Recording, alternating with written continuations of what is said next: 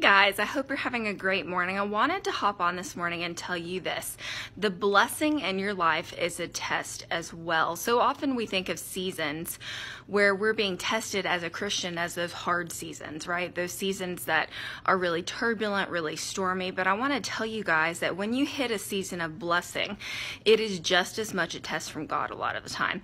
And God is watching to see when that season of blessing hits your life, will this person still stay dependent upon me when they're walking in favor, when everything is going well, when I'm pouring out provision on their life, when they're getting that thing that they've prayed for for years? Are you going to stay faithful? Are you going to, in that place where it's easy, quote unquote, are you still going to put me first in your day and stay dependent upon me with your lifestyle? Or are you going to say, you know what, God, thank you so much. You've given me what I needed, what I've been praying for and I've got it from here. Thank you so much. And just kind of nope out of the situation, right? God is watching to see how you will steward seasons of blessing in your personal life. And I want to tell you guys, it is a test. God is watching to see, am I really first in their life? Are they going to stay dependent upon me?